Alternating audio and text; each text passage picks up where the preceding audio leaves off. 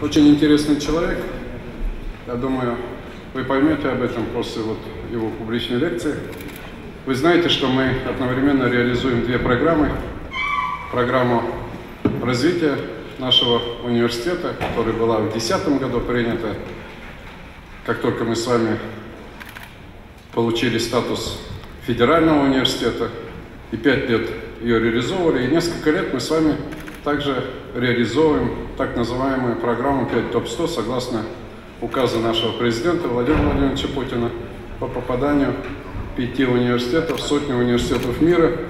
И вот сегодня у нас в гостях человек, который является экспертом и занимался развитием университета и оказывал экспортную помощь многим странам в мире и университетам. Джамиль Салми, я думаю, я его попросил, чтобы он коротко свое выступление рассказал об этой работе, о части работы то же самое. Значит, и э, мы ему очень благодарны, что он нашел возможность приехать на несколько дней к нам в Казань, в наш университет. И сегодня у нас публичная лекция, затем у нас будет формат круглого стола со специалистами, когда мы будем рассказывать господину Салми, как мы видим собственное развитие. И я надеюсь, мы выслушаем все те плюсы и минусы нашей жизни с точки зрения внешнего экспорта, который имеет возможность сравнить, как развиваются университеты в мире, как они достигают своих результатов в тех или иных областях. И э, завтра также у нас будет рабочий день, поэтому это не э, выходной день ни для нас, ни для него, когда мы будем подводить итоги, и, может быть, удастся нам обговорить вопросы создания совместной лаборатории по развитию или продвижению нашего университета в мировом пространстве. Поэтому, господин Салми, я с удовольствием приглашаю вас на эту историческую трибуну, где выступали с публичными лекциями не только выдающиеся ученые мира, Нобелевские лауреаты, но и большие политики, президенты многих стран. Я не скажу, что все 80 стран правительства, которых вы консультировали, были на этой трибуне, но многие фамилии будут для вас знакомы. Прошу. И, э, коллег, если будут вопросы, в конце, как обычно, мы тоже будем иметь возможность задавать вопросы. Прошу вас сюда, господин Соломин. Very good morning to all. Доброго-доброго утра всем вам. Большое спасибо, господин ректор, за то, что пригласили меня приехать в Казань. Впервые. Для меня это первый раз.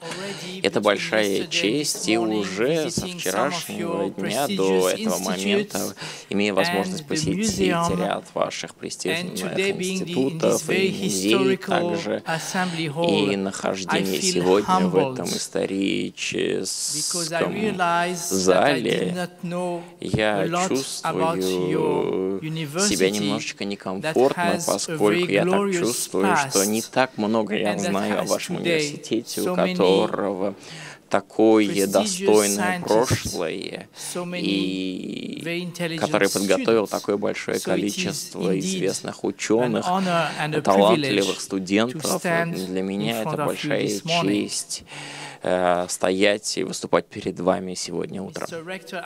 Господин ректор попросил меня представиться. Не хотелось бы мне много говорить, много о себе. Um, я бы предпочел отметить, что я родом из Марокко, учился я во Франции, в Соединенных Штатах Америки, в Великобритании. До сегодняшнего дня я все еще рассматриваю себя в качестве студента у разных университетов, и я рад возможности узнать о вашем достойном университете. Пожалуй, больше всего я могу в своей карьере, в рамках своей карьеры гордиться не только научной своей работой, как экономист в вопросах образования, но, пожалуй, как Пожалуй, я больше всего могу гордиться своими тремя детьми. Мой старший сын вчера выпустил свою первую видеоигру на рынок. Эллипсис называется. Этим можно, я этим горжусь. started to learn about everything that this когда я начал знакомиться со всем тем, что делает данный университет, я должен признаться, я себя начал чувствовать немножечко некомфортно, даже переживать начал относительно того, чего же, чем я могу поделиться с вами из того, что вам еще неизвестно. Соответственно, я посчитал, что мне, наверное, помощь потребуется в подготовке достойного выступления. Соответственно, вчера ночью пошел я по улицам Казани для того, в поисках какой-либо помощи. К счастью, нашел я вот эту замечательную даму, которая согласилась рассказать мне о моем будущем. You know, my future is already behind me. Знаете, мое будущее, оно уже позади. About the future of high education. Меня более интересует so будущее высшего образования. Она согласилась мне помочь в этом вопросе и согласилась поделиться своим пониманием, э, видением будущего высшего образования. Я записал это на своем iPad и хочу поделиться с вами тем, что она сказала. В будущем будет обязательно всей молодежи каждой страны э, поступать в университеты.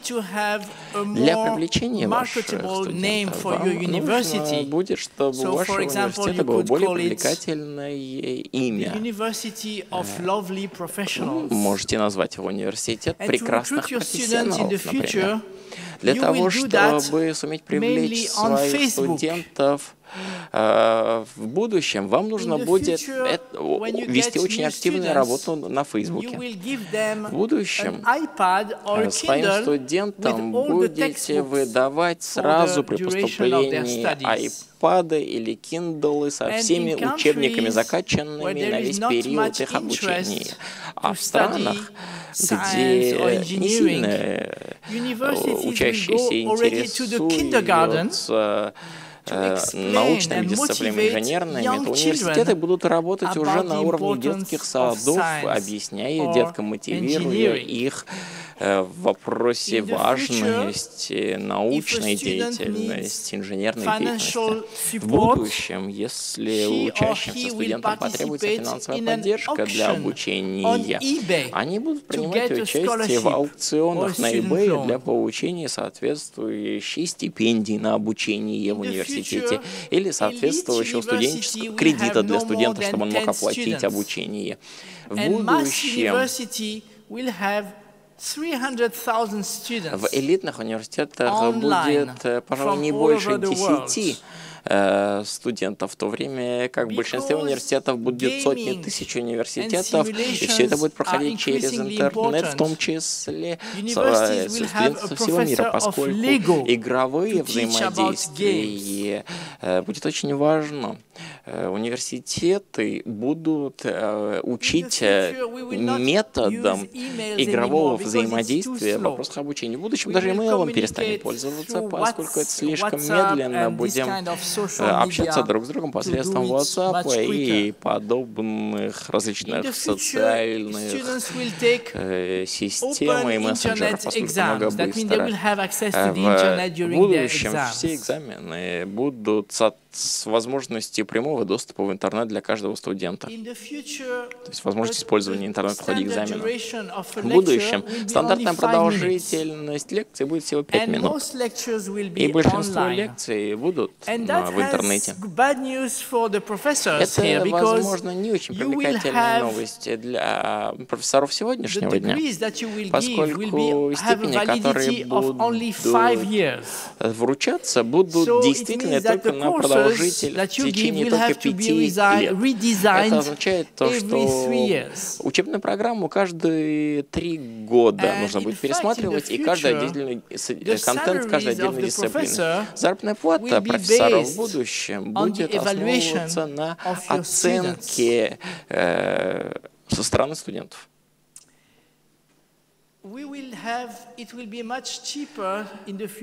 В будущем намного дешевле будет создать университет или лабораторию, поскольку у нас будут электронные библиотеки и виртуальные лаборатории. В будущем также отметки за различные курсовые экзамены студента будут выставляться с использованием программного обеспечения, основанного на искусственном интеллекте. В будущем совет попечителей университета э, будет состоять в основном из 18-летних учащихся, потому что им-то лучше известно, что реально университету нужно. Если ваши выпускники не будут находить э, возможность адекватного трудоустройства через 6 месяцев после завершения университета, университет должен будет возместить такому учащемуся стоимость его обучения. И такие университеты, как Казанский, плохие новости для Казанского федерального университета заключаются в том, что в будущем только 10% вашего бюджета будет поступать от правительства. Но не переживайте, вы будете настолько успешны в том, чтобы привлекать деньги из внешнего мира, что After six months in the academic year, you will tell the philanthropists out there, через шесть месяцев после наказания академического года вы будете говорить филантропам, нет, нет, достаточно уже денег на этот год, не давайте нам больше, в следующем году. Давайте вернемся к этому вопросу. Хорошая новость для ректора. В будущем ежегодная заработная плата ректора будет равна эквиваленту в миллион американских долларов но будет индексироваться в зависимости от рейтинга, от, в зависимости от того, насколько рейтинг университета повышается или понижается международно.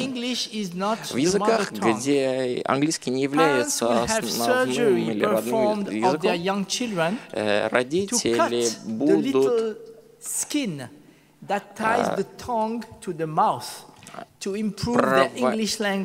проводиться определенные операции маленьким деткам для того, чтобы кусочек ткани вырезать под язычком, для того, чтобы улучшить произношение на английском языке. А также те из вас, кто хочет получается кто стремится к MBA, забудьте об этом, ибо в будущем мастер в искусстве, в, в изобразительных искусствах будет намного ценнее, поскольку креатив важнее. О чем я говорю? О мире фантастики. Поверьте мне, те примеры, которые я привел, на самом деле они не из будущего. Это то, что я уже видел в рамках своих поездок в разные страны мира.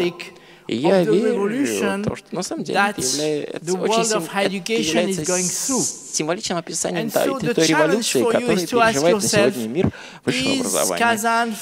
И который необходимо э, принять это. Готов ли Казанский федеральный университет принять участие в этой революции, которая происходит? Для того, чтобы ответить на этот вопрос, сегодня утром я разделился признаться на две части. Во-первых, очень хотелось бы напомнить нам самим всем о важности знаний для инноваций, а потом взглянуть на то, как инновации влияют на саму систему высшего образования. Позвольте, начну с первой части, с части о важности знаний. Э, премьер-министр Норвегии, наверняка на фотографии вы узнали. Она буквально вот в прошлом году заступила на свой пост в одной из своих первых докладов, э, выступления она сказала населению своей страны, что нужно забыть о нефти. Норвегия у Норвегии, как у Татарстана, очень богатые нефтяные запасы. Но он сказал, что будущее Норвегии совсем не в нефти, но в знании. Знание – это нефть будущего. Ну для иллюстрирования важности знаний я хотел бы вот, э, обратить ваше внимание на исследования, которые проводили мои бывшие коллеги в Всемирном банке, где я работал в течение 25 лет как координатор по вопросам экономики и высшего образования. Провели, вот мои коллеги провели сравнение двух стран, Южная Корея и Бразилия, э, как изменялись ситуации в разные годы. И если посмотреть на то, что происходило в начале 60-х, обе страны, что что Бразилия, находились на одном уровне экономического развития. Но со временем вы видите, что они пошли разными путями. На сегодня Корея у нас там наверху, а Бразилия там внизу. Кажется, ну, неестественно, потому что что такое Корея? Корея это же вроде не сильно, мало чем богатая страна. 70% Кореи покрыто горами. У них очень мало, на самом деле, природных ископаемых. В то время как Бразилия огромная страна, огромное количество ресурсов. And so my colleagues at the World Bank, when they try to understand why is Korea having much better results than Brazil, they realize that most of the success of Korea can be attributed to the fact that much better than Brazil, they have been able to apply new knowledge and new technologies. So I'm going to make a test with you today to try to see whether what I'm saying is maybe true. Истинно ли то, By any chance, does anyone here drive either a Hyundai or a Kia car? Hyundai или не водит ли Hyundai или Kia?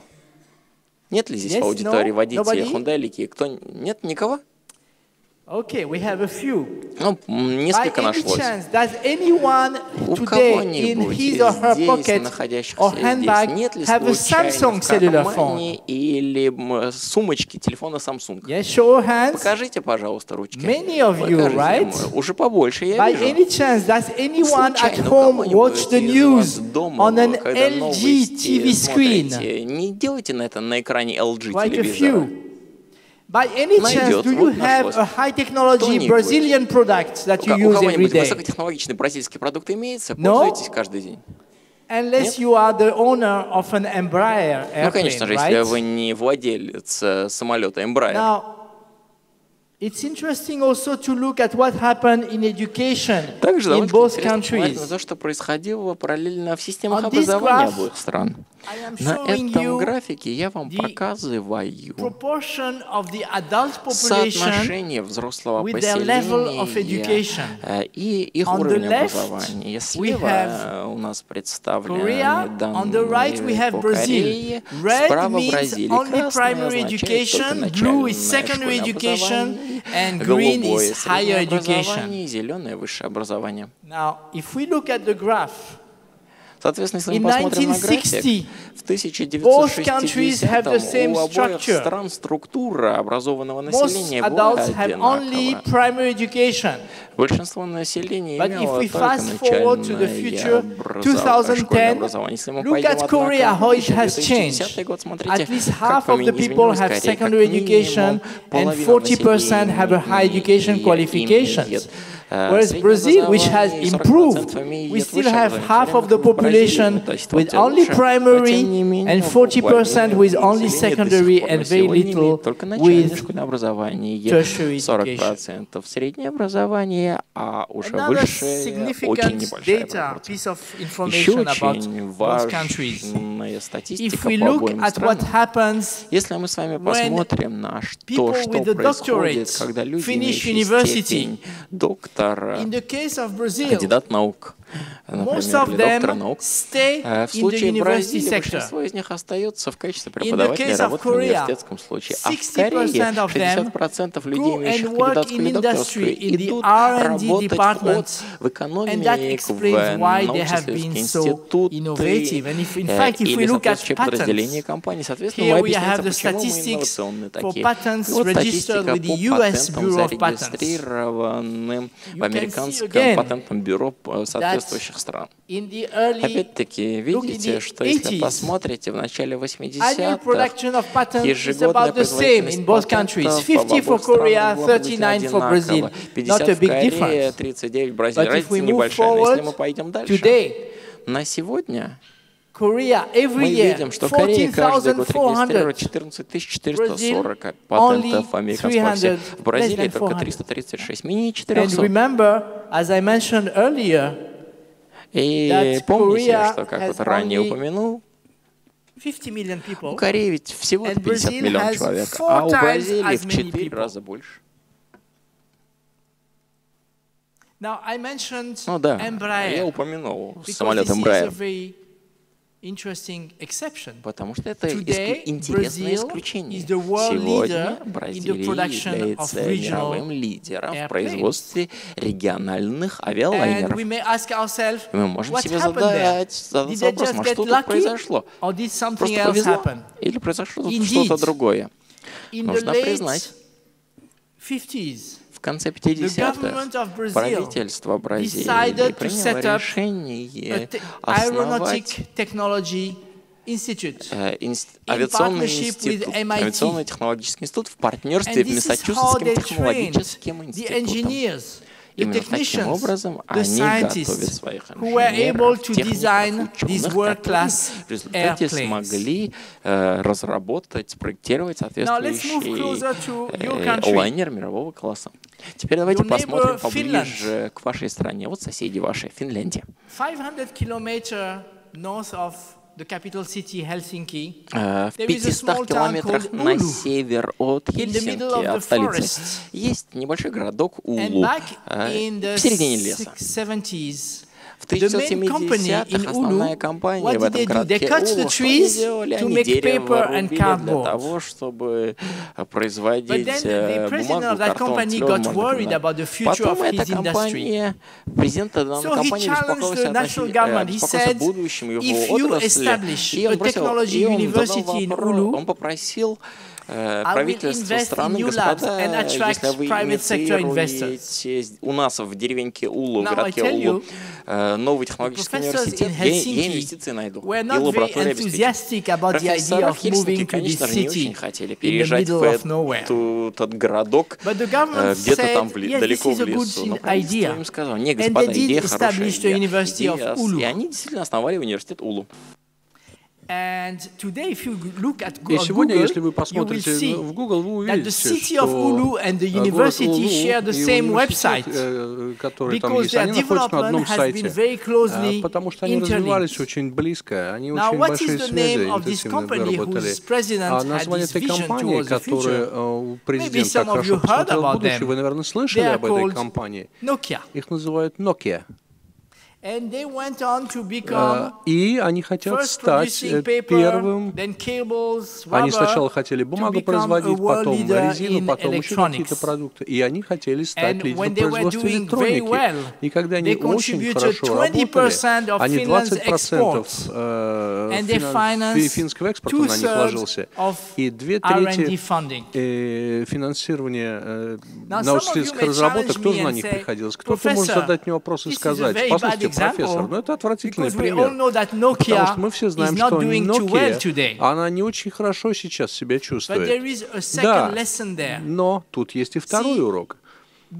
А вот посмотрите, быть лидером сегодня, это не гарантирует вам никоим образом о том, что вы будете лидером завтра.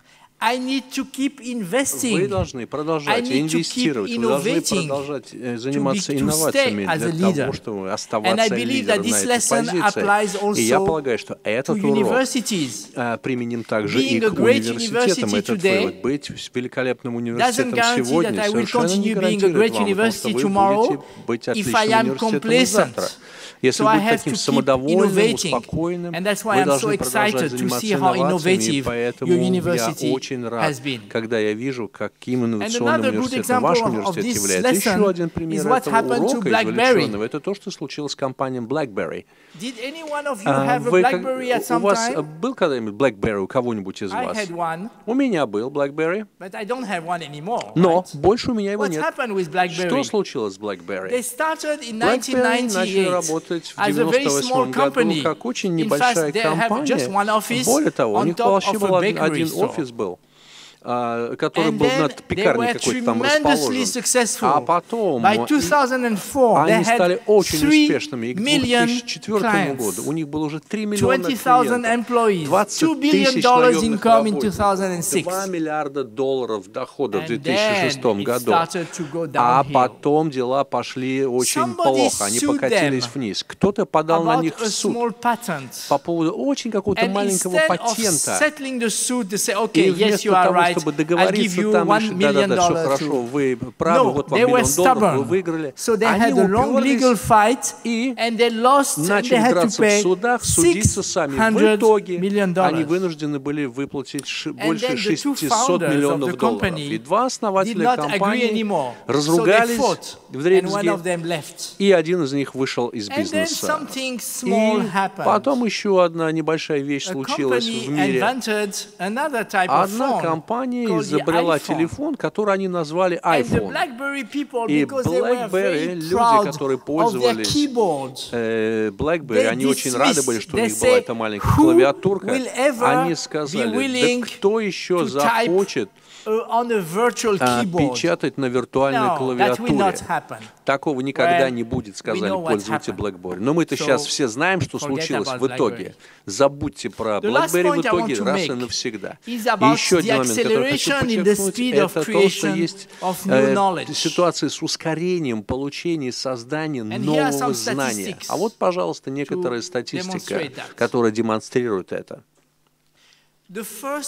А первый год, в течение которого мы знаем, сколько научных публикаций было опубликовано, а в году это 1976 году. Вот посмотрите, это тогда, когда 340 статей было опубликовано. И посмотрите, какой скоростью идет количество публикаций. Потом идет десятикратное увеличение. 60,000 90-х годах уже. еще больше, еще больше, 2000, более миллионов в итоге. В последнем году, который у нас есть статистика, это полтора миллиона научных статей. Я хочу спросить вас всех, кто может а, угнаться за таким огромным количеством публикаций и продвижений в вашей специальности?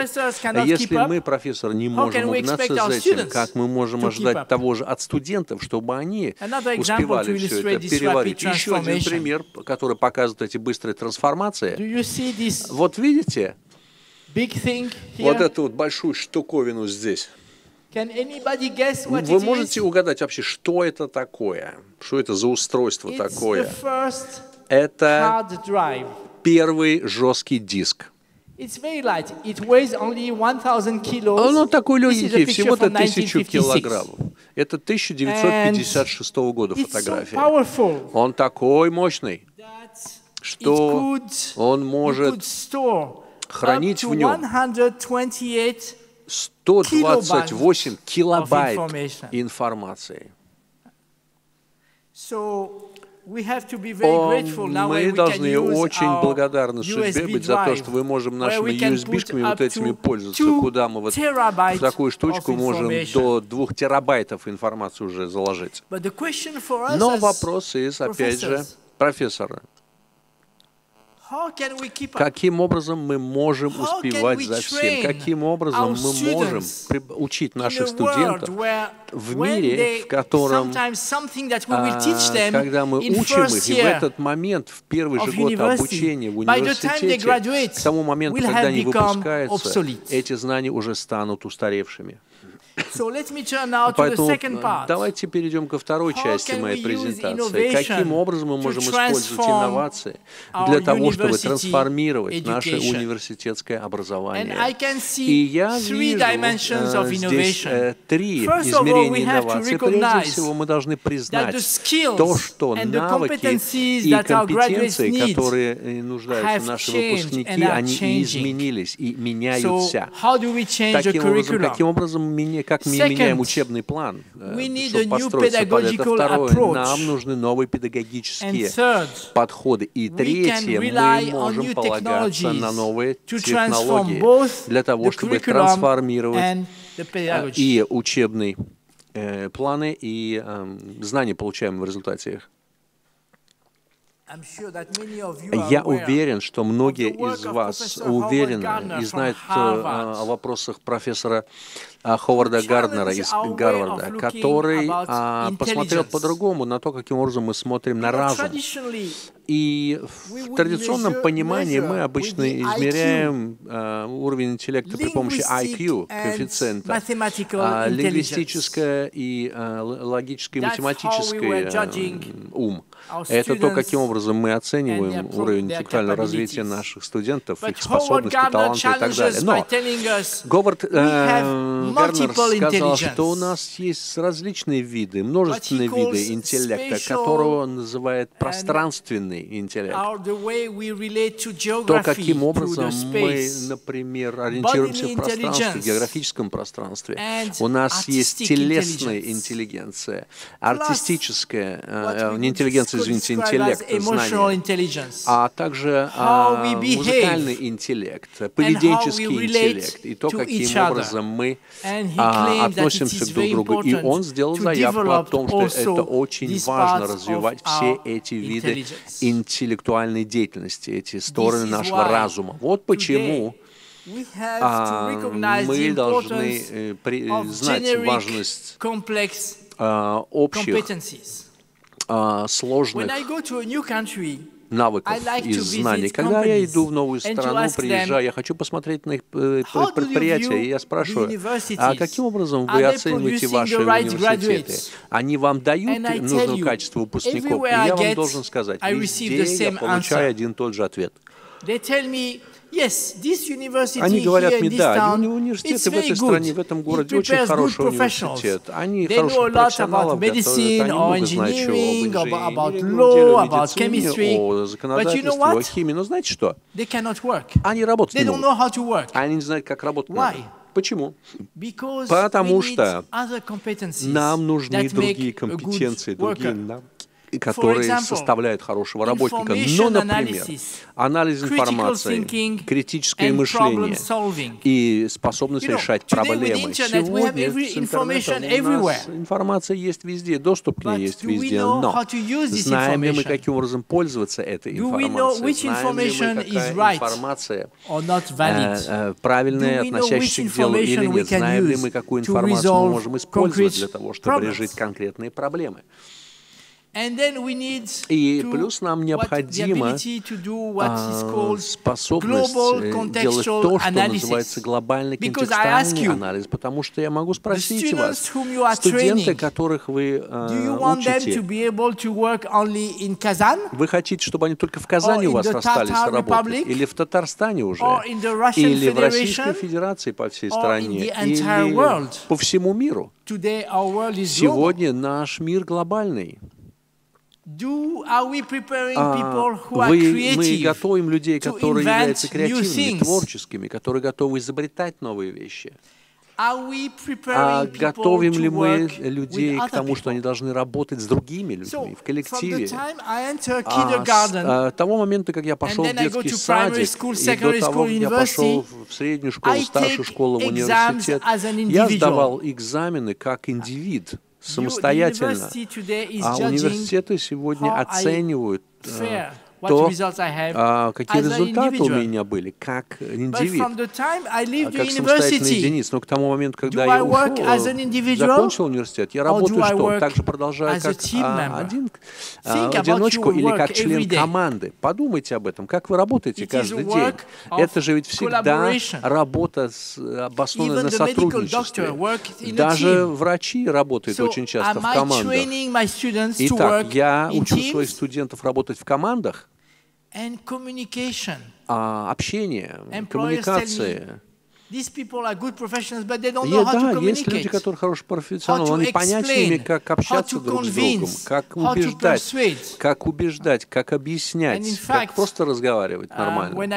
И более того, когда я смотрю на научные работы, But here is what our cousins, the dolphins, say что about our ability to communicate. о нашей способности Although общаться. Humans make sounds with their mouth and occasionally look at each other, звуки своим ртом и иногда смотрят друг на друга, нет никаких твердых свидетельств о том, что они могут нормально общаться друг с другом. И если мы посмотрим на новости по телевизору каждый вечер, мы увидим, что там что? Война, там есть нищета, там насилие. Конечно же, это четко показывает, что мы как люди, как человеческие существа, мы не можем нормально, мирно друг с другом общаться. И плюс к этому, плюс к этим навыкам, к этим общим сложным э, навыкам и компетенциям, мы э, должны готовить наших студентов, учить их тому, что называется характерные качества. Что такое э, качество характера? А, наука о мозге говорит нам, что для того, чтобы учиться хорошо, это не только наши внутренние интеллектуальные способности, но также такие свойства, как любопытство, мотивационное любопытство. А ранее, когда я посещал музей вот здесь рядом, в соседней комнате, а один из ваших очень престижных студентов Толстой здесь обучался, гений литературы, но не похоже было на то, что он очень был заинтересован в том, чтобы учиться хорошо. Его больше интересовали какие-то другие вещи, не связанные с обучением. А ученые, изучающие мозг, говорят нам, чтобы для того, чтобы быть хорошим студентом, вы должны быть мотивированы тем, что вы изучаете. Это должно быть интересно вам. Вы должны развивать инициативу таким образом, чтобы ваши студенты имели, например. Э, черты предпринимателя, чтобы они были упорными, настойчивыми, даже если они терпят неудачу, даже если они э, проваливаются, они должны быть способными встать, признать ошибку, сказать, да, я ошибся, в следующий раз я этого не сделаю, и все будет хорошо. Лучше. То есть речь идет не oh, только о том, чтобы говорить вашим детям, о, вы такие умненькие. Нет, мы должны развивать в них ощущение настойчивости устойчивости. Даже если они не очень хорошо с чем-то справляются, вы должны говорить им, oh, вместо того, чтобы сказать, ну и глупый же ты, никогда не будешь нормально учиться. Нет, нет, нет, вы должны говорить им, нет, вы можете это сделать, вы можете учиться нормально. То есть вы их поощряете. Наш мир меняется очень быстро. Нам необходимо адаптироваться и готовить студентов к этой адаптации. Нам необходимо развивать лидерские качества и, возможно, наиболее более важно — это этическое понимание и осознание того, что такое социальное, культурное, а, многомерная картина нашего мира, чтобы мы понимали и осознавали то, что речь идет не только о том, чтобы быть умным, толковым инженером. Нет, это должен быть инженером, у которого есть совесть, который а, готов и может улучшать наше общество вокруг нас. Я говорил вам о творчестве. Мой приятель, который профессор, мой друг в университете Гонконга, the president of Samsung cellular phones, asking him the kind of question I told you about, asking him what kind of engineers and technicians do you like to recruit. And the president, to my friend's surprise, the president of cellular, Samsung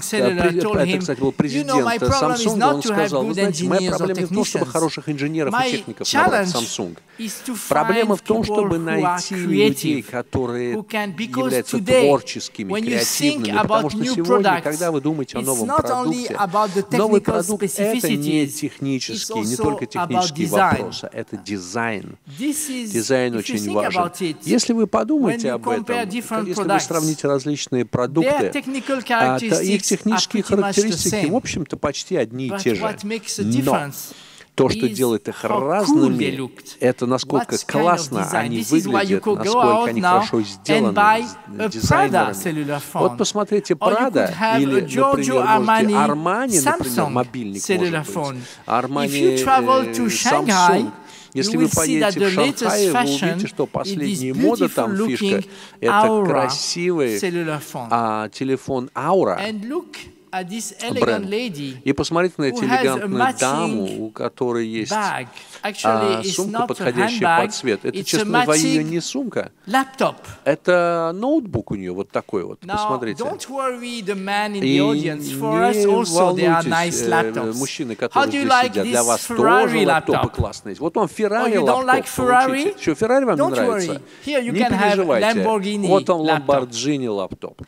And please, next time И, you buy a пожалуйста, в следующий helicopter раз, когда вы будете покупать себе в университете вертолет, купите вертолет Versace модель. When I used to work at the World Когда Bank, я they работал в would give одном us банке, они давали for our нам ноутбуки But э, they для would be very работы. boring И они были такие занудные какие-то, все скучные, So эти company ноутбуки. Даже эта компания And even though I will not tell you their э, name because I'm not here to make publicity for а, private меняться. firms. Я тут сейчас Look, не буду they рекламой were hiring- заниматься, now they're не буду hiring называть бренды, но graphic посмотрите, они сейчас нанимают to make графических products that are дизайнеров для more того, чтобы attractive, создавать so that they продукты, can которые compete выглядят with лучше another для того, brand чтобы они могли name I'm not соревноваться going с to другими mention брендами. Опять не буду сейчас рекламой Well, заниматься, но Steve Jobs died, с того момента, как скончался Стив Джобс, мы должны отдать ему должное, конечно, и почтить его. He said Еще раз, потому что он говорил что-то такое, что He я считаю said, очень важным. Он говорил, э, не- речь не идет о технологиях, дело не только в технологиях. Для того, чтобы сделать успешный продукт,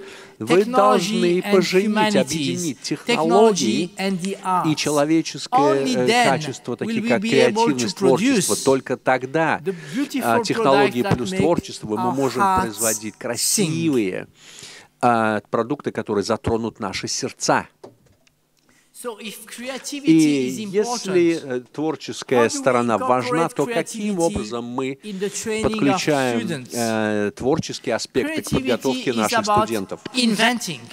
We have to give the opportunities to our students to invent new things, new services, new products, to experiment, to think out of the box. Oh, I didn't know it was allowed in my university. Или, а я не знал, что, оказывается, у меня в университете такое разрешается. chances, Рисковать, Нарушать правила. как часть педагогического процесса. Совершать ошибки и учиться на них. И самое важное, пожалуй, это получать удовольствие. Я прекрасно понимаю, то, что вы сейчас трансформируете свои педагогические подходы. Именно к этому и стремитесь в университете здесь, в Казани. Но поверьте мне, мне довелось побывать в таком большом количестве университетов, The где преподается все to Профессор знает все passively, на зубок, студент должен сидеть пассивно и, вни- и внимать э, эти знания у профессора, и ни в коем случае ему не дозволено Now, оспорить или подвергнуть сомнению какое-то утверждение профессора. Нам, конечно же, so необходимо признать, да, мир знаний меняется очень быстро. Соответственно, мы не ожидаем, что студенты, покидая We университет, они будут обладать всеми знаниями, которые будут необходимы для успеха в своей профессиональной жизни. И, if you Соответственно, нам необходимо готовить их к would тому, чтобы like они to были take способны your учиться sick в течение child всей to своей a жизни. doctor Вот мне вам вопрос would tell you задам. Если proudly, у вас ребенок I заболел, graduated хотите 30 ли вы, years чтобы ago, вашего and I have ребенка not learned anything учил, new лечил since I врач, который graduated? сказал, я 30 лет назад закончил университет, и с того момента я ничему новому не учился. update our knowledge Нет, конечно, не заходите вы туда повести своего ребенка. Вам, нам необходимо свои знания постоянно обновлять. Начиная с малого возраста и продолжая в течение всей нашей жизни потом. 93 Вот year old 93-летний Australian doctor who is getting a Австралийский, э, доктор наук, который получает свою вторую степень научную. Be accused of Ну и gender поскольку не хочу я, discrimination, чтобы тут I меня обвиняли в дискриминации по that половому признаку, я learning is for хочу- both должен men утверждать, что and women. учень, э, пос- Let me introduce to получение you знаний в this течение всей lady жизни from касается как Peru. мужчин, так и женщин. She Вот, is пожалуйста, дама из Перу. 106 year old, 106 лет. and she just Красавица. learns to read and write Вот сейчас учится because читать she wants to be able to write letters Э, быть great способной писать э, письма своей, своим So прапраправнукам. if we are going to be in a lifelong Соответственно, если learning мы mode хотим э, жить we в режиме позна... нау- получения знаний в течение всей жизни, нам необходимо принимать have тот факт, to что, во-первых, мы хотим всю жизнь учиться. those skills and И knowledge с другой стороны, мы хотим непрерывно на- забывать то, те знания и те навыки, которые уже устарели и не актуальны. Вот, например, Эдвин important. основатель Polaroid, сказал It is not that we need new ideas. Сказал, что не идеи нам We новые need to нужны. stop having Нам необходимо суметь перестать цепляться за старые идеи. Давайте о них забудем. Позвольте задам вам следующий вопрос. Вот взгляните на, на что заявил Алвин Тофлер, специалист по будущему. Неграмотные 21 века — это не те, кто не умеет читать и писать, а те, которые не могут учиться, разучиваться и переучиваться. Кто-нибудь вот этот образец оборудования признает? Особенно господа, кто у нас э, из э, отделения физики или химии. Кто, поднимите руки, те из вас, кто пользовались вот этим инструментом в студенческие годы. Вот я сейчас задам вопрос молодежи в аудитории. Господа, вы вообще знаете, что это такая штука? Возможно, небольшое представление. Вам в музей надо будет пойти для того, чтобы узнать, что это такое. Тем не менее, когда вот мы учились физике, и это был наш основной калькулятор, But вот такая и передвижная. Но на сегодня это уже старье, часть прошлого. И проиллюстрировать вам эти изменения в педагогической парадигме, позвольте расскажу вам историю из жизни профессора Эйнштейна, которому одно время приходилось путешествовать по разным странам на лекции, с лекциями выступать. И однажды, сидя в заднем сиденье своего лимузина, который вел шофер, What's wrong, professor? Он Oh, I'm so tired of giving these lectures. Он сделает But, серьезный вздох. It's so а easy говорит, for you. смотрит в зеркало и говорит, профессор, easy? что такое? Well, you always give the same lecture. Давать.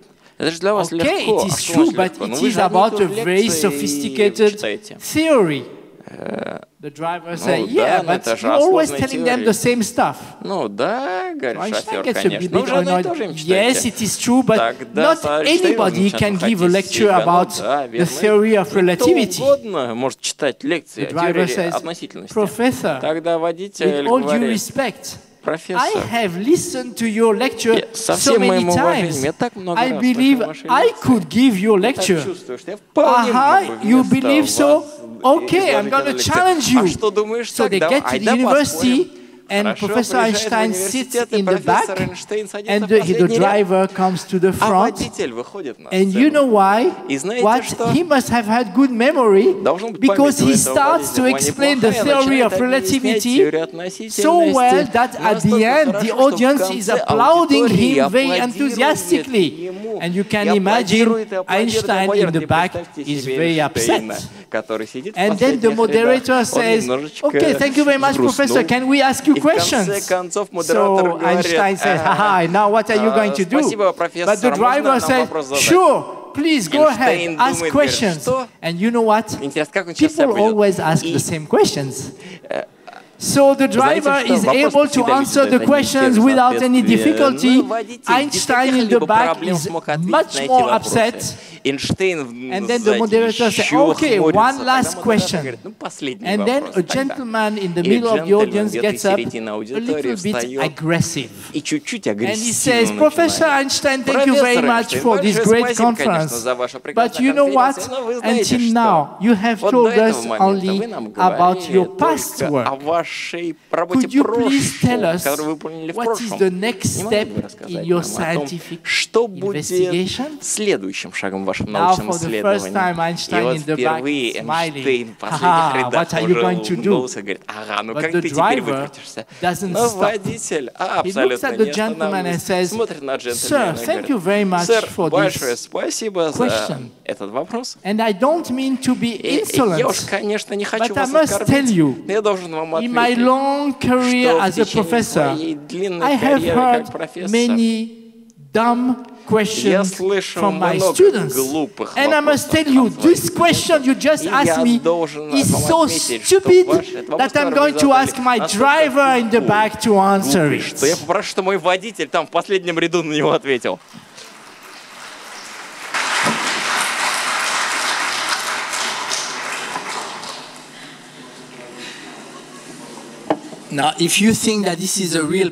Если вы думаете, что это definitely настоящая believe in science фотография, fiction то, конечно, в stories. фантастику вы верите. So, what is the new pedagogical approach А Что такое новый, педагоги... новый педагогический подход? Сегодня, да, нам с вами, мы с вами в привилегированном положении. Почему? Потому что профессора мы вместо того, чтобы концентрироваться на том, что нам, что нам хочется рассказывать, нам необходимо концентрироваться на потребностях своих студентов. Вдобавок, сегодня, для того, чтобы сегодня быть профессором, преподавателем, мы, в данном случае, я не могу уже больше полагаться на то, что написано в учебнике, потому что учебник — это часть дня вчерашнего. Я должен полагаться на разнообразие подходов к восприятию знаний для того, чтобы сделать процесс обретения знаний активным, интерактивным, э,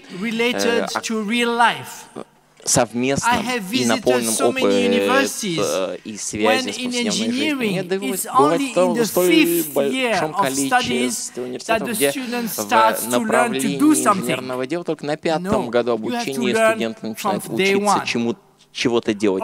Нет, такое нельзя, нужно учиться. Такого вот нельзя, необходимо учиться с первого года. Или, например, когда э, на медфаке только в треть, на третьем году обучения студенты сталкиваются с пациентами. Нужно прекрасно понимать и признавать, что не только у профессоров учатся студенты, они, они учатся и самостоятельно, они получают новые знания также от своих коллег.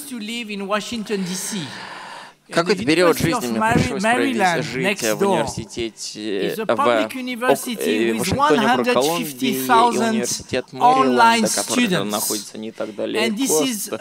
Общественный, открытый публичный университет, у них 15 тысяч студентов, которые учатся через интернет, вот рекламу, которую они используют. Приходите, добро пожаловать в класс, сидите где хотите. Если у вас хороший интернет, можете учиться вообще оттуда, где вы, где вы хотите быть, когда хотите быть. Потому что сегодня дистанции уже нет. Когда мы говорим, ну, понятно, что, что мы говорим о дистанции географической или разных часовых поясах, конечно же между студентом и местом, где есть знания. Знаете кто-нибудь, кто-нибудь знакомый с сайтом «Вторая жизнь», Second Life? Виртуальный. Вот это виртуальный класс одной из ведущих бизнес-школ мира, называется INSEAD. У, э, у них два кампуса, один во Франции, э, еще один в Сингапуре. И посредством этого виртуального классной, классной комнаты. Студенты, которые находятся в 10 тысяч километрах и разница 6 часовых поясов, они встречаются в этой виртуальной классной комнате и способны учиться вместе. И никаких препятствий с расстояниями и часовыми поясами. Это технологии сегодняшнего дня. Класс, вот это класс активного получения знаний в Массачусетском технологическом университете. В данной аудитории по физике, профессор больше не является лектором. У них ситуация обратная, так называется развернутый класс когда студенты самостоятельно учатся. Вечером, пе, за, вечером перед приходом на образовательную сессию им необходимо выйти в интернет и пройти определенный экзамен, продемонстрировать, чему они научились самостоятельно. В ходе сессии собирают группы, и профессор просит их разрешить решить конкретную задачу, конкретную проблему. И таким образом профессор способен проверить, поняли ли студенты задание, э, соответствующий материал, или им не владели. В ходе следующего периода образовательного профессор сделал следующее, поскольку он был, с одной стороны, не доволен, но не совсем. Он почувствовал, что чего-то не хватает. Соответственно, каждому студенту направил электронную почту и сказал, господа, кто из ваших одноклассников вам помогает больше всего? Потому что студенты учатся вместе, кто-то быстрее воспринимает информацию, кто-то не понимает. Но они же всегда спросят коллегу. Чем-то таким образом помощь получат.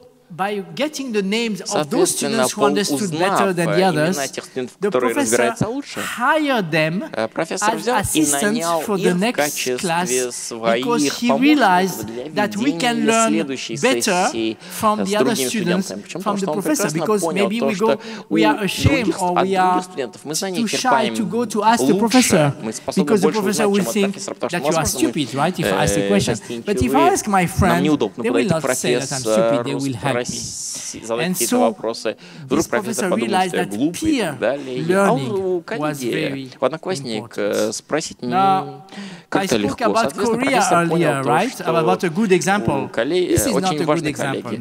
Я вот упоминал пример корейский ранее, не очень хороший пример здесь на. А вот взять вот этот, как вы думаете, кто здесь преподаватель в этой And look at the face of the students. Are they unhappy? А теперь посмотрите на лица no, учеников. They are very happy. Им скучно? So they ask them, Нет, им совсем не скучно. Happy with the robot. Вы можете How come you prefer the robot as a professor to the human being? Робота предпочитаете в качестве преподавателя, лектора, чем человека. И они ответили по двум причинам. Во-первых, потому что робот никогда на нас не кричит. And second, Because the robot never makes fun of us. потому что робот way, нас никогда не поддевает, не подшучивает над нами. of the surgery to cut the skin Помните, пример in я приводил в самом This начале о том, чтобы сделать операционный небольшой хирургический разрез so под язычком для того, чтобы лучше произносить на английском языке. В Корее это практикуется, потому что корейцы хотят, чтобы их дети лучше могли чуть-чуть правильнее произносить английский, когда говорят на английском языке. Несмотря на то, что даже научного подтверждения нет, действительно такое мнение распространено, не все делают это. В 1895 году во Франции они представляли, что в 2000 году э, преподавание будет вести таким образом, как на слайде. Ну, понятно то, что система высшего образования и процесс образовательный, education was about transferring knowledge from the professor who knew everything to the student who knew nothing. I believe that today the new education model is about constructing knowledge, professors and students together. Строить здание, зна- возводить здание знаний совместно, учи- студия, а учащиеся Раньше студенты лишь следовали инструкциям. Сегодня вы хотите, чтобы ваши учащиеся, ваши студенты следовали своей страсти. Раньше мы учились в классной комнате, сейчас мы учимся 24 часа в сутки, 7 дней в неделю. Раньше мы учились как, как отдельный человек, индивид. Сейчас мы учимся командой. И так это меняется. If I'm not mistaken, this is University of Kazan, right? Вот это университет Казань. Many, majority of your students are undergraduate students, and then you have some graduate students in masters and doctorate. I believe that in the future, the shape of university will be of a star, where the traditional students coming straight from high school to become undergraduate students will be just one part here. But we, and then you have graduate students. But perhaps more importantly, you will have continuing education because we have to continuously update our knowledge.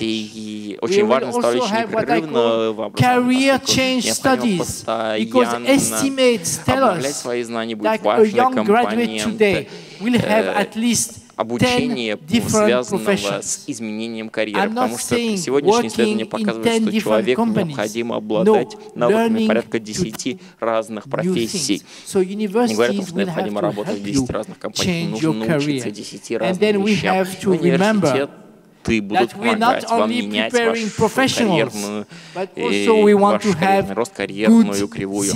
Но и мы также должны готовить не только хороших профессионалов, но и хороших граждан, которые ценят этическую, соответственно, ценят, имеют определенные ценности, соответственно, этическая часть образования, она также очень важна. И учиться мы будем не только на кампусе, но и в интернете, в онлайне, или в гибридном режиме, когда будут компоненты как как лекции на кампусе, так и через интернет. Ну и в завершение. Ну и поскольку сейчас в Казани зима, вот uh, захотелось мне вывести на экран слайд такой прекрасный, спокойный горы, покрытые большим количеством снега. Мне closer, you will start hearing a rumbling which announces an avalanche. And I believe that this is what is happening in higher education today. So many changes, like an avalanche.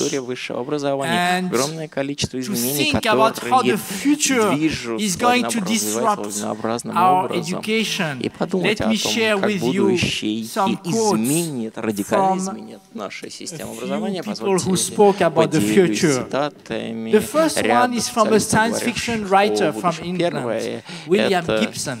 And he says, цитата Уильяма Гибсона, писателя-фантаста из Великобритании, который говорит, что будущее, оно уже пришло. Unequally distributed. Просто оно неравномерным образом распределено. French philosopher более традиционно французский философ Поль Валери, который писал много-много лет назад. Проблема с будущим сегодня в том, что оно не такое, как было раньше. Но больше всего мне нравится цитата Алана Кейна, который в 1991 году сказал, что лучший способ предсказать будущее — это его изобрести. Алан Кей изобрел систему окон Macintosh, который после у него слезала потом другая компания Windows. Но нам необходимо думать не только о будущем, необходимо помнить и, прошлом, и о прошлом. Позвольте поделиться с вами истиной. Реальная история 200 лет назад в небольшом городке под названием Кембридж, Массачусетс, профессор математики э, приходит в новую школу, посещает that he wrote a letter to his wife that night, and I read the letter in a book about education. In that letter, he said, Dear, you cannot imagine what I saw today. I entered this classroom, and I saw something that I had never seen before. I saw a blackboard and a piece of chalk and a piece of cloth, and I asked myself, what is this for? Now, we all know Зачем это? Мы все знаем, что в течение последующих 200 лет доска стала основным педагогическим инструментом поддержки, который используют профессора преподаватели. И вопрос, который стоит перед нами сегодня, в эру интернета и компьютера, создадут ли они такую же важную революцию, как э, вот эта черная доска, доска школьная 200 лет назад? Вот посмотрите, это библиотека библиотека, э, профессор, который только что ушел на пенсию. Классная библиотека, нам мне очень нравится. Но of the future. А вот вам библиотека будущего. Maybe we don't like it. Может быть, она нам не нравится, но я вам скажу, это вот то, что используют уже наши дети. И поэтому мы должны подумать о том, каким образом мы должны использовать вот это все для того, чтобы преобразовать и изменить процесс э, преподавания, педагогики. Будьте осторожны, не повторяйте ошибок изобретателя первого парового двигателя So when they put together the first train, what did they do? They took the old horse-drawn carriages. That is not innovative. кареты за ним, но они-то за ним тянулись. Они же не были инновационными. Мы должны быть более инновационными, чтобы сделать новые продукты. It's not only about telling, oh, all our students have a laptop. But if I'm still teaching in the same way and they're using their laptop only to write down what I'm saying, this is not new education. Learning cannot be a spectator sport anymore. Образование не может быть больше пассивным, не может быть таким умозрительным, наблюдательным. Оно должно быть активным, интерактивным, основанным на сотрудничестве и основанным на постоянном экспериментировании, приобретении нового опыта. И это э, вызов для всех, для нас, для того, чтобы жить в этом новом обществе, основанном на знании. И я сам из э, Марокко, могу вам рассказать небольшую историю который расскажет о том, что происходит. В моей стране у нас есть вот это замечательное животное газель. Я не знаю, у вас в Казани газели есть или нет? Или в Татарстане? У нас есть, они очень грациозные животные, но жизнь у них ужасная, потому что today, once again, I need to run faster than the fastest lion if I don't want to be eaten up alive. Now I ask you, do you think the lion has a better life? I'm not so sure because every morning the lion wakes up thinking, today once again, I need to run faster than the slowest gazelle if I don't want to starve by the end of the day. So what's the moral of this little story? It doesn't make a difference whether you're a gazelle or a lion. You have to run. It doesn't make a difference whether you are a small university or a large university, whether you are a poor university or a rich university. You cannot stay put. You have to run because the other universities in Korea or in China or in Germany, they are not going to wait for you to get your act together. They are not going to step and say, oh, let's wait for the Russian university остановится и не скажет, о, давай русский подождем. Нет, вы должны э, продолжать бежать постоянно, не останавливаясь. Вы можете задать мне вопрос и сказать, что это не очень приятный мир, который вы нам тут рассказываете, но правила сильных или правила наиболее терпеливых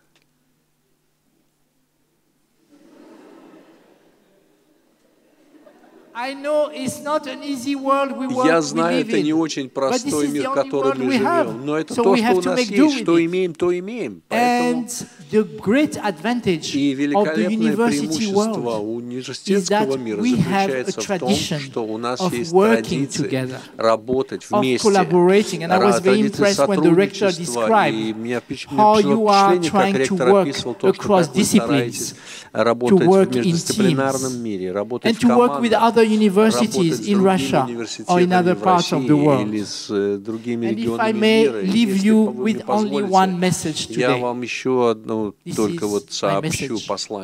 Do not allow other people to define your future. You have to take your Вы должны взять ваше будущее в ваши руки и определить сами, куда вы хотите идти. Мы должны помнить мудрые слова римского философа Синеки, который сказал нам больше, чем две тысячи лет назад, что нет, а, нет попутного ветра для тех, которые не знают, куда они идут.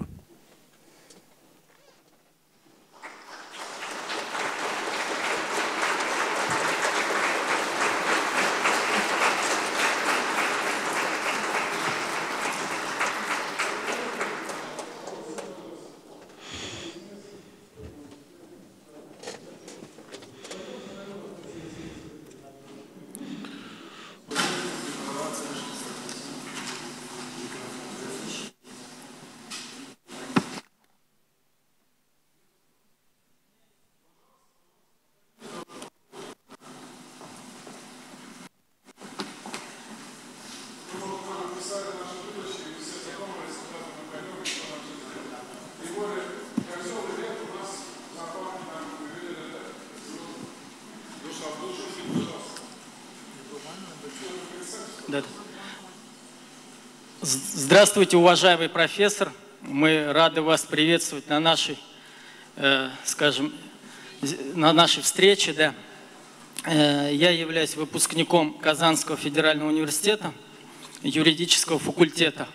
Э, в прошлом году, могу похвастаться, с красным дипломом я закончил э, университет, но, к сожалению, магистратуру у меня ума не хватило пройти. Вот. Уважаемый профессор, вот как у нас говорят в России, э, что не в деньгах счастье. И вот мы, вы, наверное, знаете, что на сегодняшний день наша отчизна встретилась с экономическими трудностями. И, к сожалению, ну, государство не может поддержку оказывать такую, которую ранее мы ощущали и так далее в развитии науки, э, образования – Вот по моим данным на сегодняшний день э, бюджет Гарвардского университета в этом году превышает весь бюджет на образование России. И на ваш взгляд, вот какие стратегические основы и конкурентные преимущества э, вы заметили, приехав сюда, э, познакомившись с нашим многонациональным народом? Вот. В принципе, вот это первая часть вопроса, а вторая, это чисто, скажем так, мой личный интерес. А, вот на ваш взгляд, через 10 лет какие направления в образовании – они будут актуальны и будут э, больше пользоваться спросом и будут давать результат для общества и для мира в целом. Спасибо большое. Thank you for this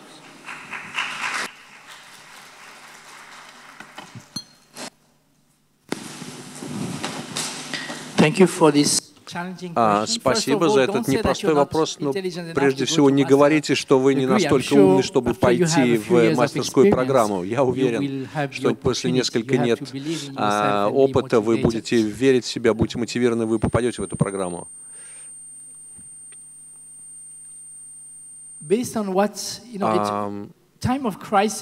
Время кризисов а, ну да, мы, нас угнетает, меньше денег, экономика сжимается. Но на самом деле история нам показывает о том, что во время кризисов это время возможностей. И более того, я думаю, что, мне кажется, это ректор университета Мэриленда, а, мы не должны упустить возможность хорошего кризиса. А потому что когда ситуация идет э, хорошо, мы самодовольны, расслаблены, правительство дает деньги, жизнь простая, беспокоиться не о чем. А, но время кризиса, еще раз, это хорошая возможность, которая задает вопрос, какие мои сильные стороны, если у меня меньше денег от правительства, где я могу найти деньги, как я могу развиваться. И для того, чтобы это сделать, вы э, посмотрите на путь этого университета, а вы достигли больших успехов в медицине, химии, астрономии, физике. Вы, э, у вас э, были великие изобретения, вы можете опять это снова продолжать это делать. И а, один из, эм, одна из проблем, один из вызовов, который есть, как вы знаете, э, большинство университетов сейчас, особенно университеты в России, они хотят а, выйти на более высокий рейтинг. Oh, Но проблема рейтинга заключается в том, мы смотрим, кто лучше в рейтинге, о, какой университет, о, Гарвард, например, в рейтинге. И мы начинаем копировать э, Гарвард, а копирование опасно. А что важно, и я помню э, последнее, что я вам говорил, вы должны определить, сказать, где вы хотите, чтобы был Казанский университет. Вы спрашиваете меня э, сказать, где. И вы должны это определять, вы должны это создавать. Это новое будущее и э, силы. А, вы должны подготовить э, выпускников, которые должны будут верить в себя, которые будут создавать uh, новые компании, которые... Э, посмотрите на Google. А, небольшая такая, например, страна, как Эстония, у них э, были выпускники, которые стали, создали компанию с высочайшим стоимостью в мире. И будущее, а один, один из э, проблем для профессора, для вызовов, который создает учебный план, это подготовить студентов к э, работам, которые, к должностям, которые еще не существуют. 20 а лет назад или 50 лет назад, а, когда у нас был вебмастер, были две профессии, э, э были профессии, которые были достаточно были востребованы, большие ученые, аналитики. И, а,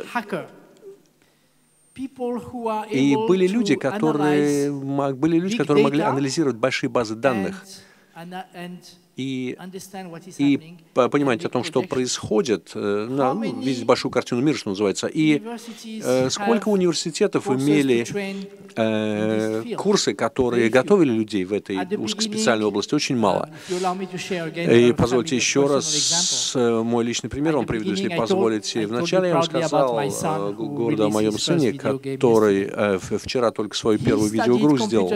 Он изучал компьютеры в одном одном из в лучшем канадском университете, в университете Торонто.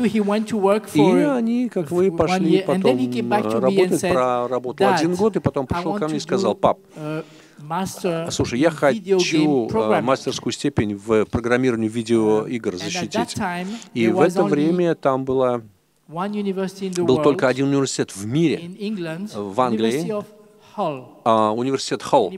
А, кто-нибудь слышал о университете Холла в Англии? Нет, никто, потому что он нигде там в рейтинге высоких не числится. Но а я сказал сыну, сказал, «Э, сынок, ты не понимаешь, тебе надо идти в престижный университет, в университет, который занимает высокое положение в рейтинге. Он ответил мне, пап, это ты не понимаешь. Этот университет Холла, это первый университет, а, который дает эту мастерскую программу в а, программировании видеогейм. А они с PlayStation, с Sony работают, с Nintendo. И вот почему это именно туда, куда хочу пойти. Единственный вопрос, будешь ли ты платить за мое образование? И, ну, я такой любящий, слабый папа, конечно, я заплатил за его образование. Но а, они были пионерами, этот университет. Теперь мы видим уже сотни этих программ в видеоиграх а, университета. Но на то время они были первыми. И мой сын был очень благодарен за то, что он мог получить образование в этом уникальном месте. И вызов, возвращаясь к вашему вопросу, это идентифицировать, найти те области, те направления роста в э, промышленности, в, сервисах, в экономике, и подготовите ваших студентов к этому, и, может быть, не э, учить их очень узко чему-то, а давать им общие, основополагающие компетенции, которые позволят вам впоследствии адаптироваться к быстро меняющемуся рынку. Э, в Израиле а есть институт технологий, который называется Techno. И сегодня 42% его выпускников становятся предпринимателями. Они начинают свои собственные компании. А, потому что подготовка в этом университете а, фокусируется на способности студентам становиться инноваторами и предпринимателями. Спасибо большое. Спасибо.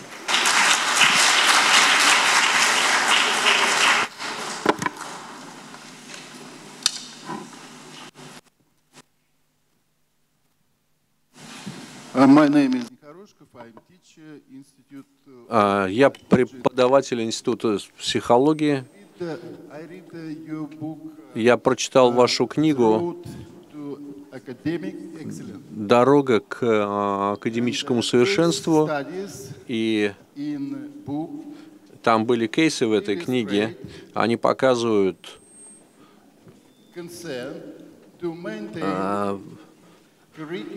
показывают беспокойство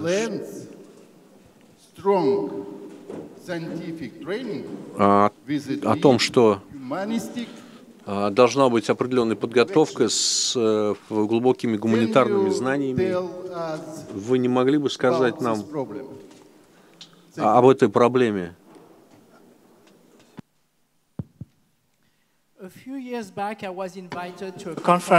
А, несколько лет назад меня пригласили на конференцию в Хиросиме, в Японии. И во время открытия конференции мэр Хиросимы а, произнес речь. Вы можете себе представить, он говорил о том, что а, произошло а, в, в, в августе 1945 года, когда американские военные бросили первую атомную бомбу на город, и 140 э, тысяч человек Э, японцев было убито, и гораздо больше было еще тяжело ранено. Но э, мэр Хиросимы произнес, эту, произнес свою речь, он не сказал о том, что «Ой, эти отвратительные американцы устроили нам такое». Они сказали о том, что он сказал, если вы будете думать об этом, это самый худший пример э, в истории человечества, то, каким образом мы используем результаты научных исследований, плоды науки. И поэтому очень важно а в любой дисциплине, какой речь не шла, что мы э, готовим и преподаем нашим студентам не просто как профессионал, не просто профессиональные навыки, но мы тоже им даем а, четкие моральные ориентиры, ориентиры этического характера, о том, что они делают. А, мы готовим врачей, и хотели ли мы готовить врачей, которые только хотят деньги зарабатывать, а не заботиться о благополучии здоровья своих пациентов? Мы что, хотим а, готовить адвокатов, которые только за, заинтересованы в деньгах, а не в справедливости. А если вы, например, проблемы коррупции во многих частях мира существующие, обычно а, а, коррумпированные, коррумпированные жулики вот эти, они выпускники хороших университетов. Они учатся очень умным вещам, но они понятия не имеют, что такое совесть и этика. Один из, э, одна из лучших инженерных школ, инженерных школ, по моему мнению скромному, это инженерная школа это Olin College of Engineering, CoLLN. Я очень-очень вам рекомендую, если вы заинтересованы, э, э, посетить их веб-сайт. Это инженерная школа.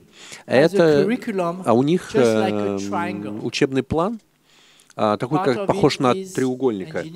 А одна сторона это, конечно, инжиниринговые науки, инженерные науки. Она это касается о том, каким образом, что делать, как делать.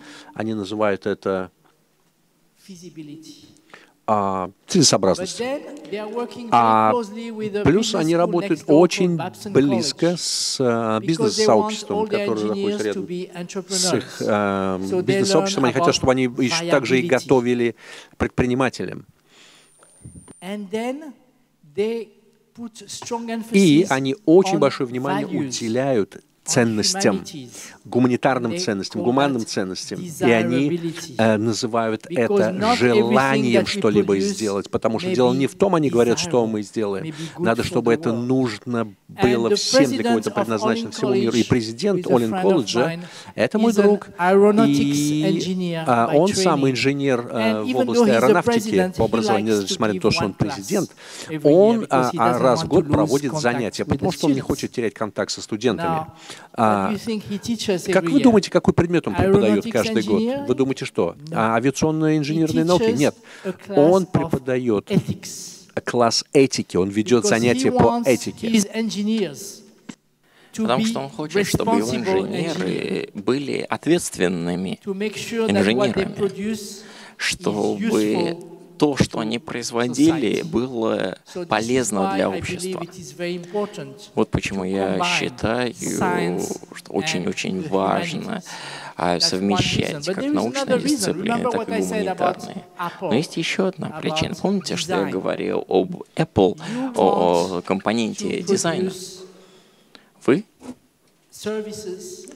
Понятно, хотите производить услуги и про производить продукты, представлять услуги и производить продукты, которые приятны, привлекательны, потому что креатив — это ведь не то, что развивается в результате исследования только фундаментальных наук, но и э, с артистичной стороны, которая имеется у каждом человеке. И, соответственно, традиция разделения на фундаментальные науки и социальные, гуманитарные науки, на мой взгляд, это не есть очень полезно интересно. Мне кажется, каждый э, инженер должен знаком с, быть знаком с изящными искусствами. И в современном технологическом мире также, наоборот, имеет только подготовка вопросов гуманитарных, э, э, никто не может работать эффективно, нам необходимо понимать машины, оборудование. На английском говорят о сокращении STEM, science, наука, наука, технологии и инжиниринг, и М-математика. Я думаю, что сейчас надо добавить еще и А в конце для э, изобразительных э, искусств, изящных искусств. Господин Салми, я здесь. Меня зовут э, Ралькасьянов. Ралькасьянов, вы, вы нам проиллюстрировали разницу на слайде между Бразилией и Южной Кореей, говоря о том, что именно образование повлияло на разницу экономики в экономическом развитии, в экономическом развитии страны. У нас в России почти 100% высшее образование, можно сказать, среднее образование точно и очень высокий процент высшего образования, не говоря уже о работе специалистов в компаниях. У меня вопрос, и вы сказали то, что нам действительно необходимо работать дальше, не оставаться э, такими, какие мы есть, с одной стороны, с другой стороны, э, вроде уже неплохие показатели. То есть как нам быть? Э, нам готовить э, технологов и ученых дальше, ждать, что они придут к нам, или какой-то другой технологии? Вы знаете, у вашей страны был очень серьезный вызов. Ваша страна стала серьезным вызовом, потому что ваша страна во многом и экономика предыдущей страны базировалась на э, военно-промышленном комплексе. с переходом э, на рыночную экономику соответствует тесная взаимосвязь университетов и ВПК. Была нарушена, и вам необходимо было адаптироваться к новому. Я не знаю, недостаточно много знаю о том, как о принципах э, и методах работы вашего университета. Но, например, вы прекрасно известны э, россияне как хорошие математики, но такое большое количество российских математиков э, эмигрировало, из, уехало из вашей страны. И надо задаваться вопросом, а что они получают такого интересного в других странах? Вопросах э, качества жизни, вопросах получения дополнительного образования, чего они здесь не могут получить. И, соответственно, подумать о том, что может сделать университет для того, чтобы суметь удержать э, лучшие таланты. Потому что сегодня все, деньги сегодняшнего дня — это таланты. Конечно, иметь нефть хорошо, а когда цена на нефть падает, что случится? А вот стоимость талантов, человеческих талантливых ресурсов никогда не упадет. Будущее богатство, благосостояние страны — это всегда э, в качестве человеческого капитала, нас, людей, нашей, нашей способности изобретать. И вот, например, когда вот посещал я с небольшой университетский музей, мне было сказано, что этому университет, этот университет был основан 210 лет назад. Первые профессора были из э, Германии, Германии и из Франции. И тут вот это очень важный момент. Интернационализация очень важное измерение развития. Если у вас много людей, э, россиян, живущих в диаспоре за границей, то одна из стратегий э, ваших должна быть, во-первых, стараться, конечно же, удержать таланты здесь, чтобы не хотели разбегаться. С другой стороны, постараться привлечь таланты из э, разных частей мира, российской диаспоры. И вот, например, сам я с Марокко посещал вчера соответствующую лабораторию здесь, химическую, физическое. Я встретился с молодым ученым из Алжира, из страны соседней от Марокко. Алжир очень сильная нефтяная компания, очень развитая соответствующая отрасль. Соответственно, понятно, почему человек захочет учиться здесь, сотрудничать, налаживать это расширяя такое сети сотрудничества, конечно, будет э, очень важно. Ну и второе, это необходимо работать над тем, чтобы снимать барьеры, которые препятствуют быстрому переводу э, разработки э, базовых фундаментальных аспектов в прикладное. У вас вот астрономия здесь очень сильна. Астрономический факультет несколько лет тому назад посещал университет Аризоны в Туксоне. Это был публичный общественный университет. Это университет штата на бюджетный университет. У них большая пустыня, соответственно, хорошее возможность снабдения за небосводом. Один из э, профессоров изобрел новый тип стекла, который позволяет э, какие-то достижения в лучшие телескопы. Соответственно, они нашли Э, uh, применение этого у меня была встреча uh, с деканом соответствующего факультета. Когда я приехал, декана не оказалось, вице-декан меня принял, принес извинения, сказал, у декана возник экстренная ситуация в его компании. И я узнал, что из 25 профессоров, которые преподают на департ... в соответствующем факультете, у 12, 12 являются хозяевами собственных компаний. Причем даже когда они занимаются над, э, работают от кандидатской и докторской степенями, ничего ты изобретаешь, что позволяет им создать собственные компании. Но продолжать сотрудничать достаточно тесно с университетом, они все равно продолжают. Другими словами, они, вот они так, используют лазерные приложения для того, чтобы маркиров... наносить маркировку клеток людей, у которых которые страдают раком, то есть на пересечении оптики, химии, физики, медицинских наук и так далее. И именно то, что вы стараетесь сделать у себя в университете, создать очень тесное мультидисциплинарное сотрудничество.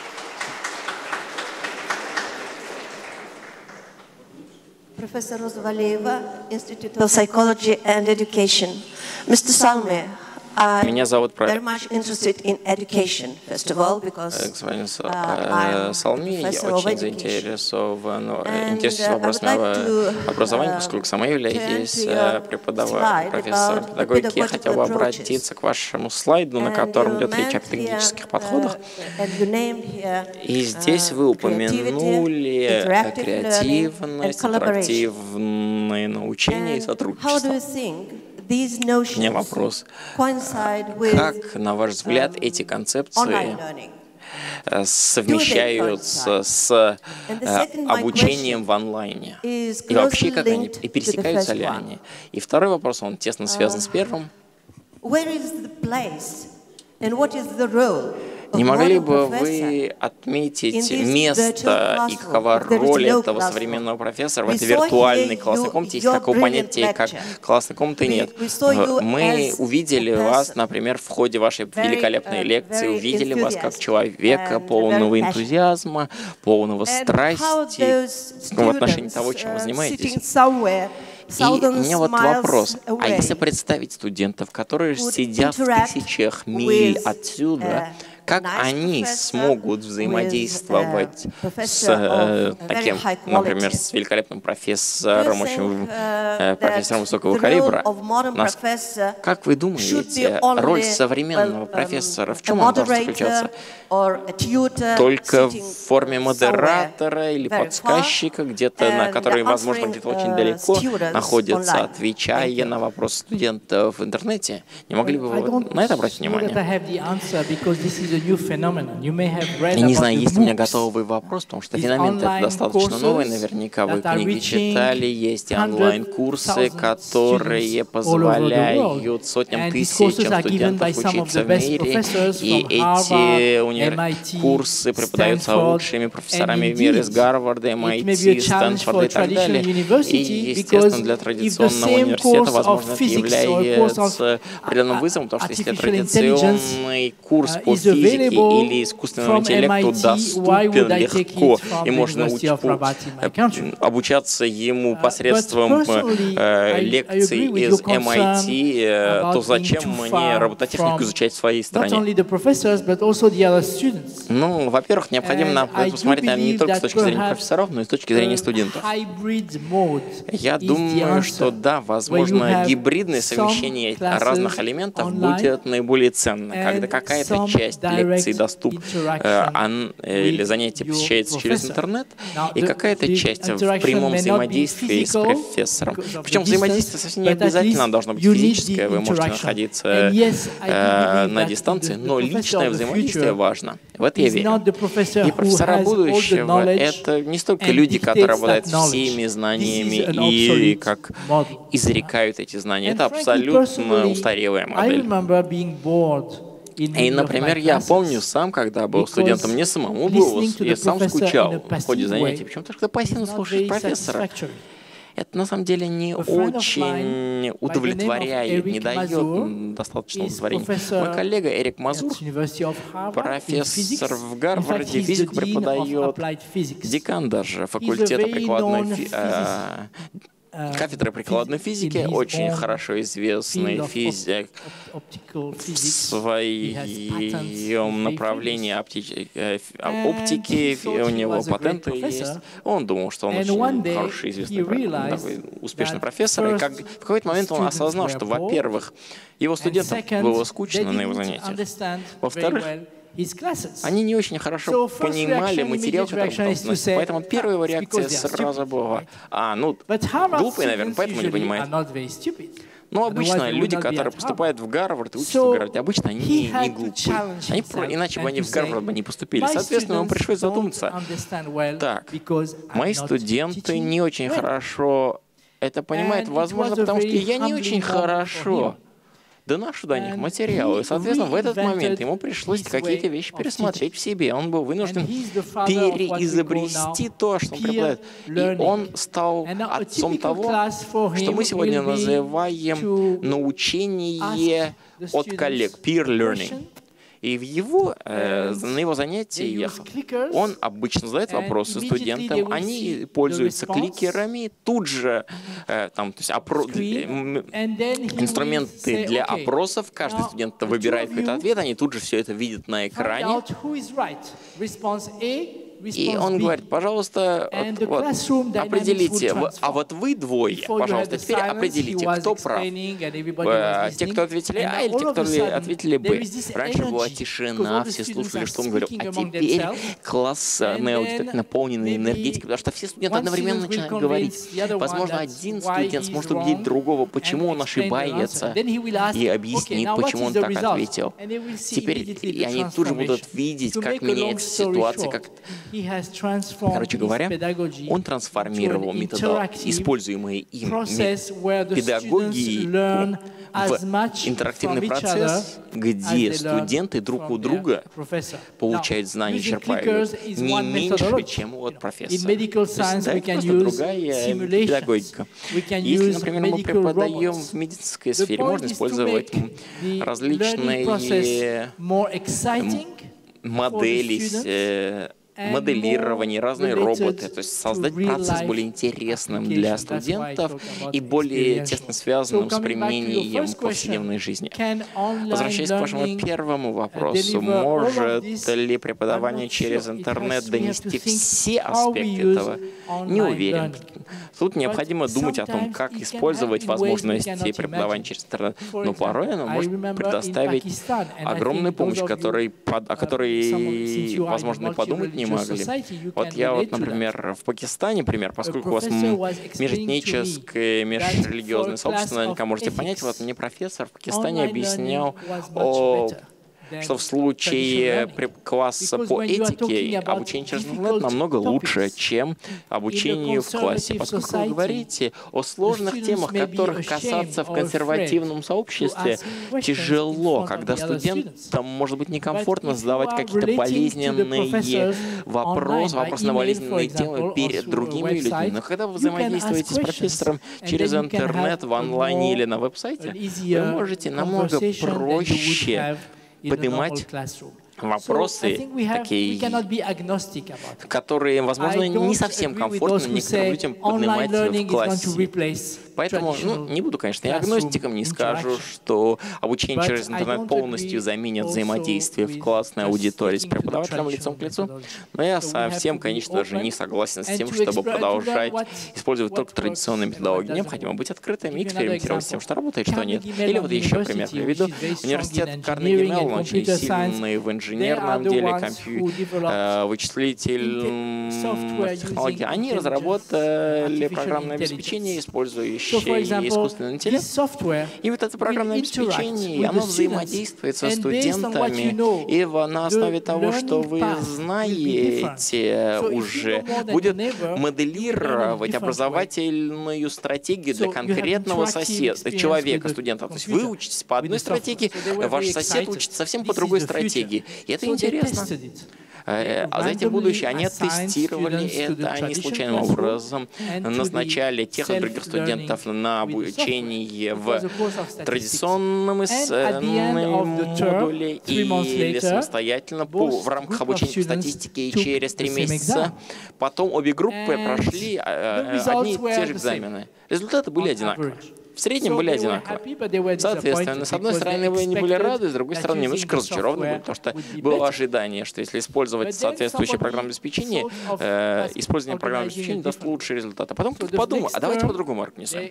В следующую четверть они случайным образом опять э, назначили студентов, затем студенты, которые учились с использованием, с наставничеством программ, соответствующего программного продукта, им было сказано, как только будете чувствовать, что вы готовы сдавать экзамен, можете сразу дать нам знать, и что вам не нужно будет ждать все три месяца этой четверти. Вы знаете, что случилось? Через пять недель многие студенты были уже готовы.